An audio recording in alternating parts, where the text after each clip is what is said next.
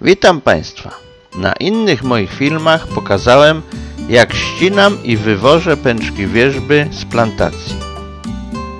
Na tym filmie pokażę jak szybko, tanio i bez wysiłku rozładować 2 tony wierzby i położyć precyzyjnie w odpowiednie miejsce. Ja posługuję się w tej pracy ciągnikiem z turem.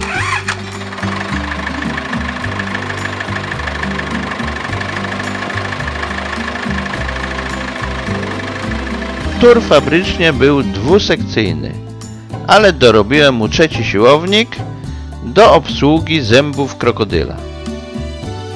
Zęby są tylko dwa, ale do wierzby nic więcej nie potrzeba.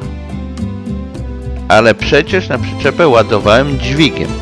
To może rozładowywać też dźwigiem. To jest oczywiście wykonalne, ale operacja taka ma cztery wady. Po pierwsze, możemy rozładowywać tylko po jednym pęczku. Po drugie, układać możemy tylko przy przyczepie. Po trzecie, rozładunek 20 pęczków zajmuje 50 minut. Po czwarte, potrzebuję do tej operacji dwóch pomocników. Jednego do zaczepiania na przyczepie, drugiego do odczepiania na ziemi. Moją metodą przy odrobinie wprawy udaje mi się złapać za jednym razem 4 do 6 pęczków wierzby, odwieźć na ustalone miejsce i precyzyjnie ułożyć.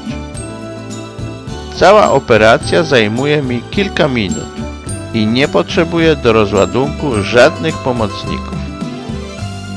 Silnik ciągnika pracuje swobodnie z szybkością 1000 do 1200 obrotów na minutę, więc spala bardzo mało paliwa. Koszt paliwa potrzebnego do rozładunku 2 ton wierzby to 4 zł.